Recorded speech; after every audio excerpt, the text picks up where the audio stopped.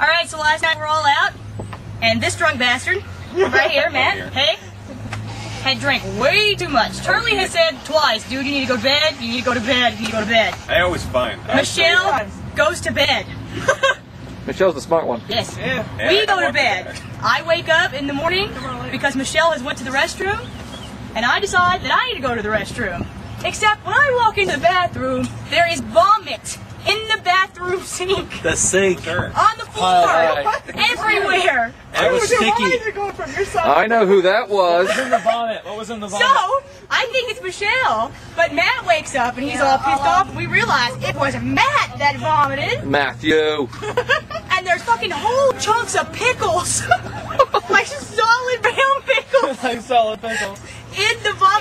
And now Matt's like, anybody want pickle? Anybody want my vomit pickle? Of course, he denied it. He said, I took all the pickles off the Oh, burger. I took the pickles off. So it was projectile pickles then, That's right? the amazing thing. There's pickles in the vomit, but I didn't It's a eat good name pickles. for it. Where the hell It's a did good name come for it. from? It's like carrots That's, sweet that's corn. so bad. And that's I the pickle piss. story. I never ever pissed. The plug of my nose. I have. I almost upchucked. When I've had too much beer. Mike woke up. Mike's like, Matt, you swine. I woke up like bacon.